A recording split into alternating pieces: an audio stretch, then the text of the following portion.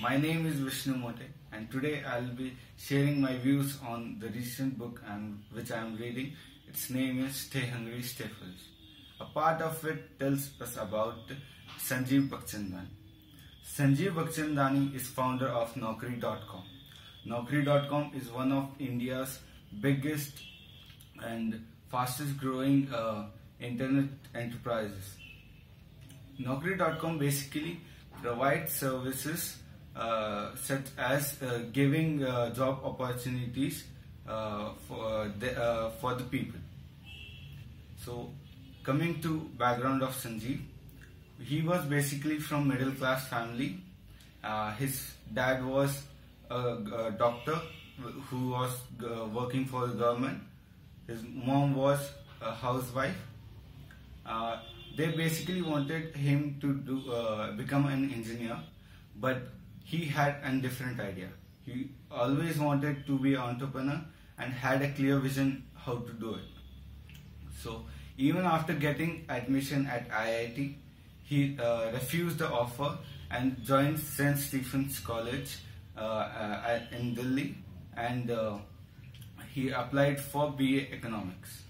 And after some time, he wanted to do IIM. Uh, uh, I, uh, I, he wanted to uh, get admission at IIM, so that's why he uh, gave up his three years for doing so. So the first step towards entrepreneurship came when he launched uh, his two companies. One is Inmark and the second is InfoEdge.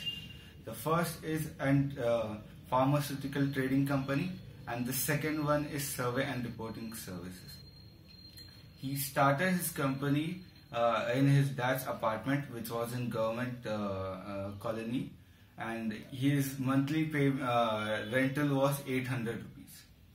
At the end of the uh, month, he had many uh, problems, including the cash flow, and the only financial and moral support he could get was his from wife and he had to face many uh, uh, many problems during uh, this journey uh, towards his success.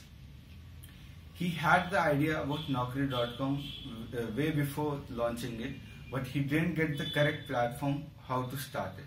But after knowing uh, after knowing about internet and how internet can connect people, he started Naukri.com, and within like three days he was able to uh, have three, uh, thousand applicants uh, database uh, in uh, in his website. So from nothing to now a company worth one billion dollars, and this is the success story of Sanjeev Bikhchandani.